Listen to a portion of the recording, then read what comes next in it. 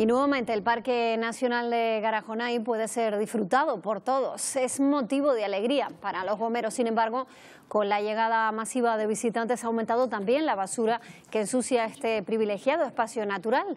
En La Gomera estamos ahora mismo en la zona de Pajaritos. Allí está nuestra compañera Patricia Clemente.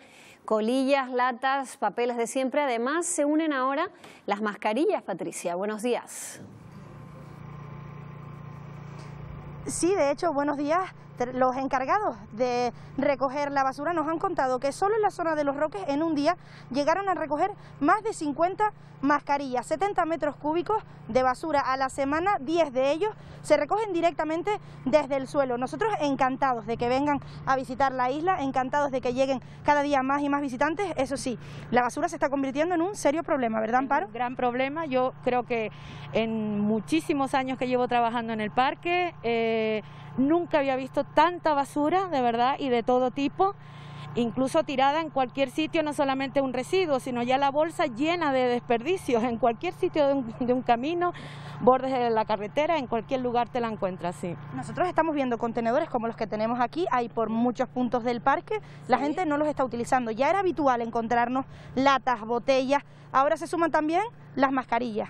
Sí, bueno, eh, es un poco de todo. Eh, la pena de todo esto es que los contenedores, primero, no casi no los están utilizando, lo que te comentaba, que lo tiran por cualquier lado. Y en segundo lugar, la gente que utiliza los contenedores no está reciclando, no lo está poniendo separado.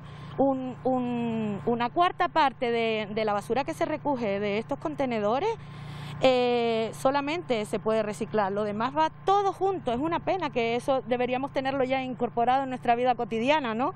La verdad que es bastante triste los datos que nos estás dando. ¿Hay alguna solución que no sea que la gente sea un poco más cívica? ¿Tenemos alguna opción? Hombre, la solución Patricia, está en cada uno de nosotros, por favor.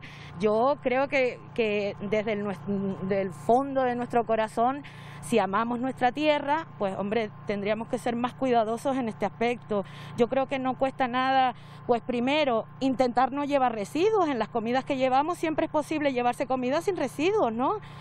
Eh, y segundo, pues si no lo llevamos, pues nada, no lo podemos llevar con nosotros otra vez a nuestros lugares y, y separarlo allí o eh, bueno, utilizar los lugares, los puntos estos de recogida de, de, residuos del parque. Yo apelo a la gente al corazón que Garajonay es un espacio de gran valor, de gran valor que nos aporta muchas cosas. Entonces, bueno, se, con un mínimo esfuerzo yo creo que es bueno que pasemos por un lugar y no, no, no se dé cuenta nadie de que hemos estado allí y sin embargo hemos disfrutado muchísimo de, de ese lugar. Nos quedamos con ese mensaje, muchas gracias por atendernos. Nosotros hacemos un llamamiento, como está haciendo el Parque Nacional, a la colaboración ciudadana. Importantísimo, nos encanta que visiten el parque, eso sí, importante, ni dejar ni llevarse nada.